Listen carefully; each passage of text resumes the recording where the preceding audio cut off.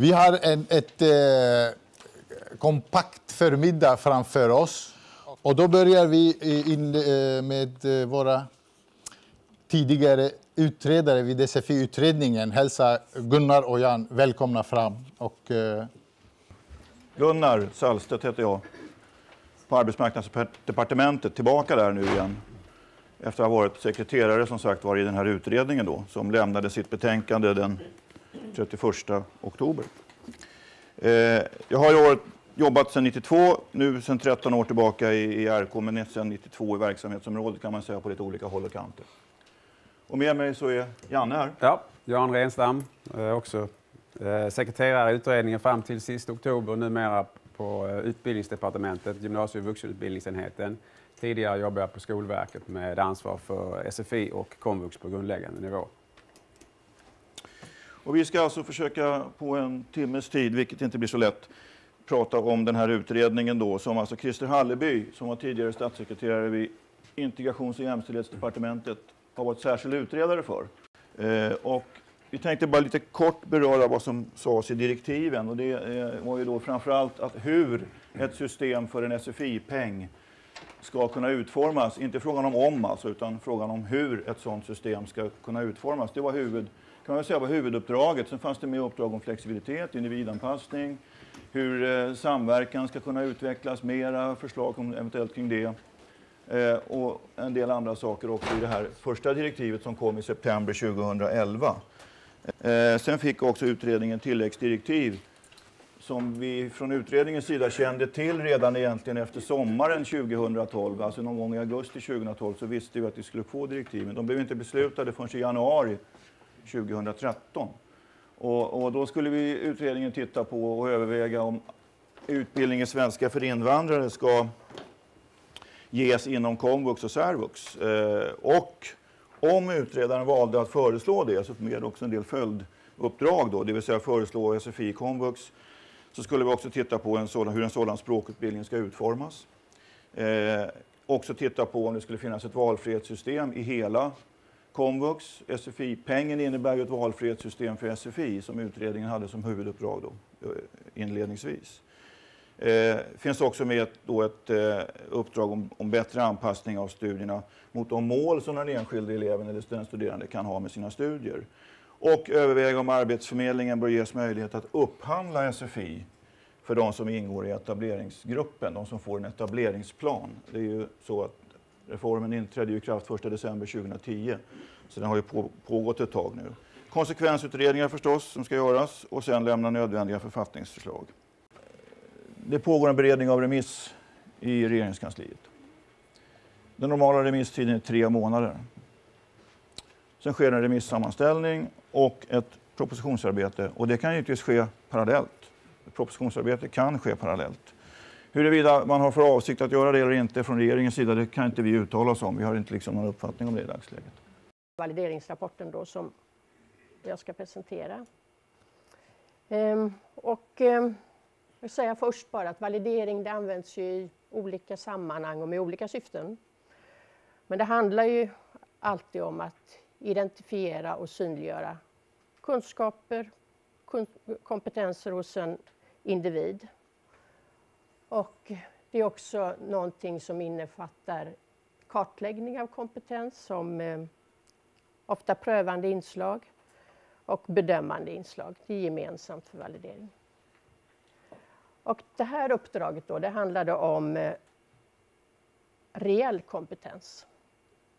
Att identifiera och synliggöra alltså vad en individ har eh, förmåga att faktiskt göra.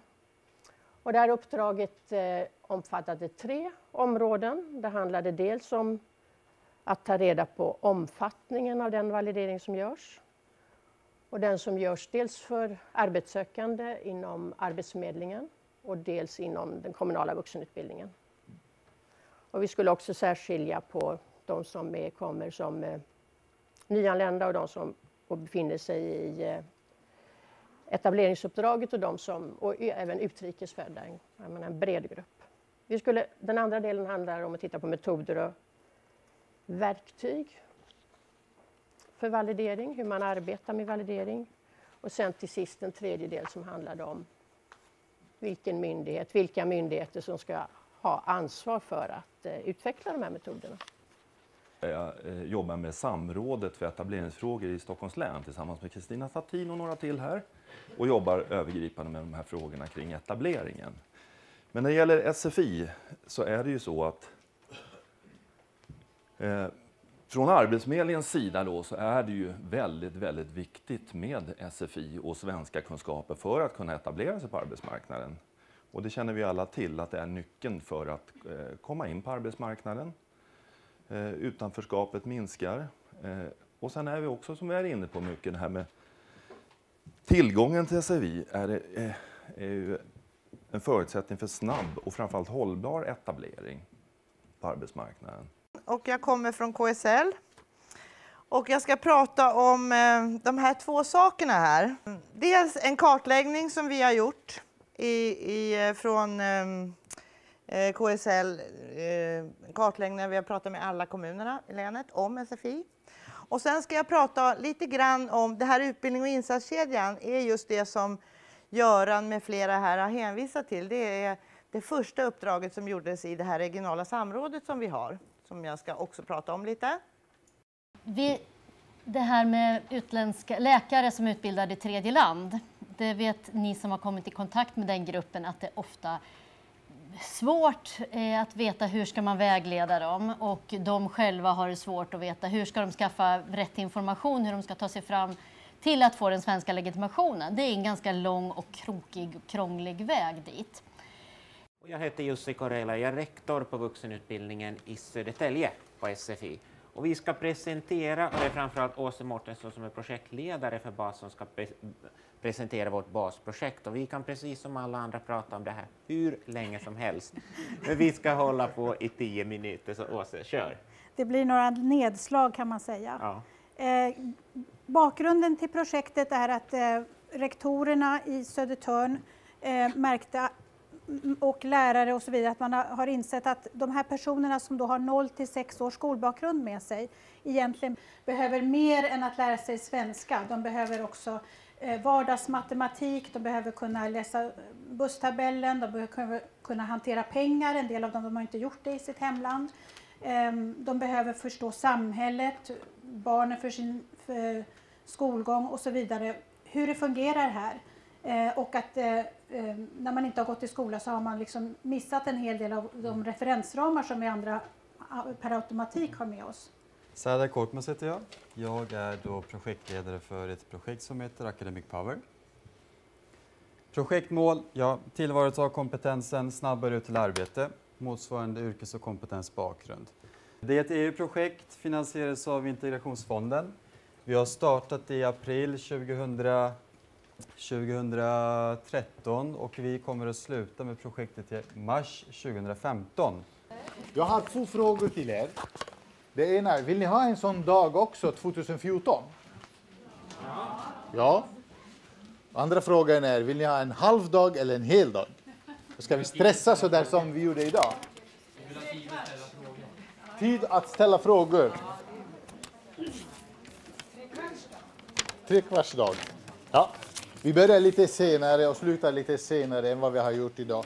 Vet ni, jag tackar er jättemycket och jag är faktiskt, jag blir alltid gnällig när jag jobbar och blir mycket glad och tacksam för ert arbete när jag är i Finland, när jag ska till Norge och alltihopa. För att man brukar säga i de blindas rike så blir de som har ett öga kungar. Vi har ett öga faktiskt. Vi är inte så dåliga. Ni gör jättebra jobb trots allt annat som vi behöver utveckla och jobba tillsammans med.